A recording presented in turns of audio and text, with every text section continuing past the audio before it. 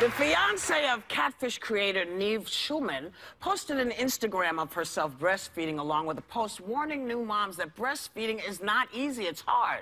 She admitted no one told her just how hard and painful and difficult it can be, and she urged people who want to breastfeed to educate themselves about it beforehand.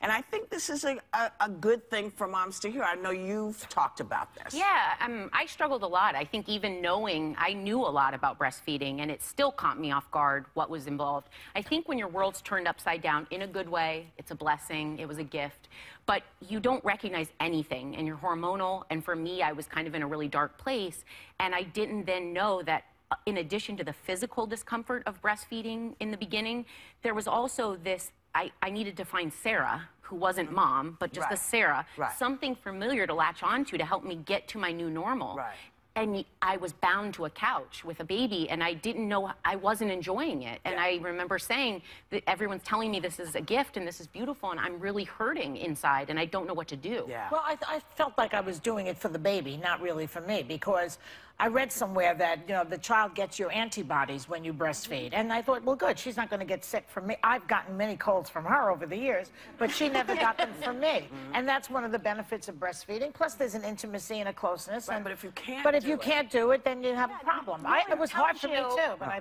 plowed through, and it was difficult. That there could be a struggle. I remember the with Natasha when I breastfed her, I could only have get milk out of one side and not the other, and I'm like, what do you? That's not supposed to happen. And but I met with a lactation consultant, and they helped guide me through things. Yeah. But sometimes I, I, didn't even know a lactation consultant existed. Yeah. Right. Yeah. And then a friend told me, but it took a while. It took several weeks to get through it. See, my mom was a was a baby uh, nurse, and oh. I said, I can't get this. To, I can't do this. And she said, Well then that's okay. We have other ways. You can feed the yeah. baby other ways. Right. And that's important for moms to know. Not everybody can breastfeed. Yeah. And mm -hmm. if someone is telling you that you're not doing it right or it's, and it's wrong for you, you're allowed to say, then I'm going to find a different way.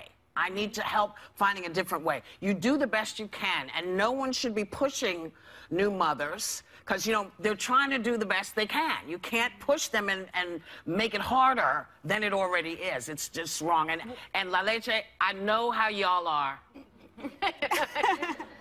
But this is the this is the reality. Not everyone can do it, and it's not fair to make them feel bad if they can't. Yeah. No, but well, I, I, would say on the other side a little bit that sometimes it's difficult, but you can push through it. Some sometimes. people can push. Get, not yeah. everybody. Well, if it's really yeah, killing you, no, no, but not everybody can, and, and yeah. everybody should know that it's their you right. You feel like less of a mother. Yes. the thing is, I heard from a lot of people after we talked about it once saying you're no less of a mother, and I think I'd want to say you're not alone, yes. and your a fed baby is yes. the best type of baby. Yes. The other Fed thing is the conversations about public breastfeeding, now I look at them totally differently.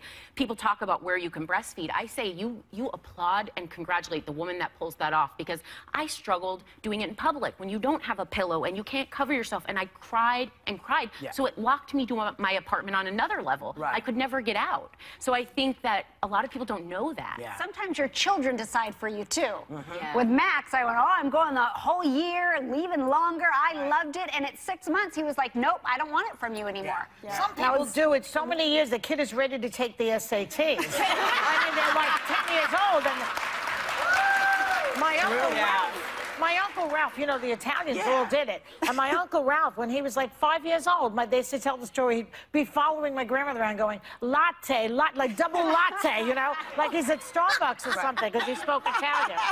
Latte, mama. Double latte. When they could ask for it yeah. verbally, yeah. might have gone too long.